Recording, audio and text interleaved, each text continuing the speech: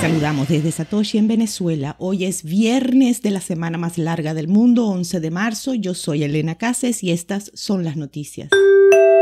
Regulador financiero ordena el cierre de todos los cajeros automáticos de Bitcoin en el Reino Unido. La Unidad de Conducta Financiera del Reino Unido les ha dicho a los operadores de cajeros automáticos de criptomonedas que apaguen sus máquinas o se enfrenten a acciones de cumplimiento, según un comunicado publicado hoy viernes. La FCA agregó que los cajeros automáticos que ofrecen servicios de intercambio deben estar registrados y también deben cumplir con las regulaciones de lavado de dinero del Reino Unido.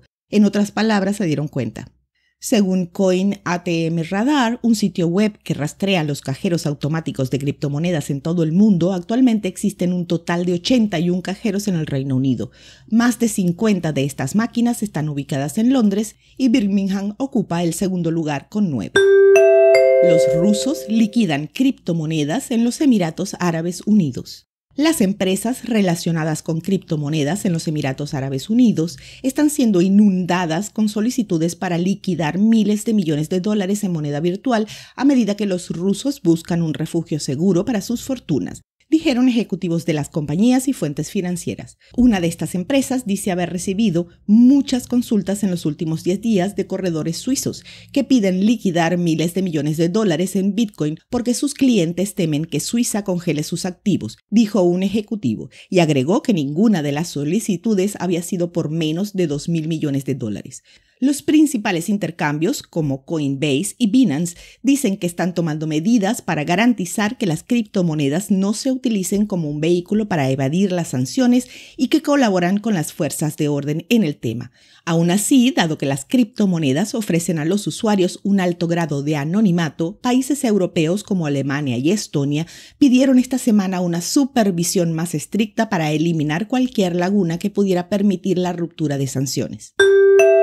Ya seguimos con las noticias, pero antes tenemos a nuestro patrocinador. CoinEx es un exchange centralizado de criptomonedas sin KYC que ofrece todo tipo de trading. Cuenta con servicios como transferencias entre usuarios y un novedoso Automator Market Maker. En la descripción tendrán un link de referidos con sus redes sociales y su comunidad oficial hispana en Telegram para que se unan. Semanalmente se realizan sesiones de Ask Me Anything con diversos proyectos donde se reparten al menos 250 dólares en premios. Gracias a Coinex por apoyar a Elbit. La policía entregó las criptomonedas incautadas del convoy de camioneros a un agente de custodia. Según documentos presentados ante el Tribunal Superior de Justicia de Ontario, la incautación tuvo lugar el 28 de febrero y estaba relacionada con una investigación criminal no especificada. Los documentos y la audiencia del miércoles fueron parte de una demanda civil separada que los residentes locales presentaron contra los manifestantes del llamado Convoy de la Libertad. Nicolás St. Louis, un hombre de Ottawa que anteriormente se describió a sí mismo como el líder del equipo de Bitcoin para las protestas, dijo en los documentos judiciales que estaba a punto de cumplir con una orden de esa demanda civil para congelar el Bitcoin, transfiriéndolo a un depósito en garantía. Un grupo de trabajo conjunto de la policía ejecutó una orden de allanamiento contra él. Los oficiales me sacaron a la fuerza de mi apartamento y me llevaron a un vehículo policial sin identificación, dijo San Luis. La policía quería las semillas de mis billeteras. Bajo compulsión de la policía, proporcioné mis semillas. San Luis dijo que la policía le quitó 0.28 Bitcoin con un valor aproximado de 15 mil dólares y que el resto de los fondos, guardados en una variedad de billeteras digitales, estaban fuera de su control exclusivo. En una discusión de audio de Twitter Space, San Luis había dicho anteriormente que había entregado 14.6 Bitcoin a los camioneros antes de que la orden judicial le prohibiera distribuirlos. Piden al gobierno argentino explicar acuerdo con el FMI sobre el uso de criptomonedas.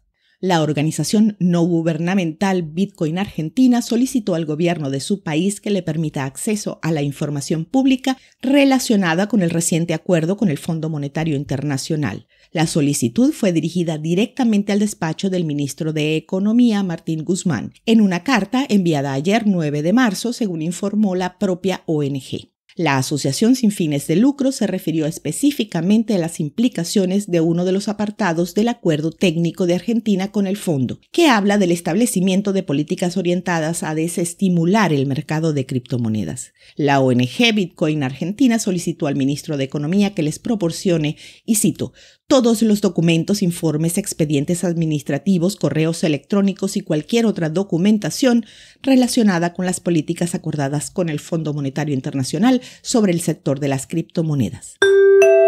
Al mediodía de hoy el precio de Bitcoin estaba en poco menos de 49 mil dólares con una variación a la baja en 24 horas del 1%. El hash rate es de 195 exahashes por segundo. Esto fue el Bit desde Satoshi en Venezuela.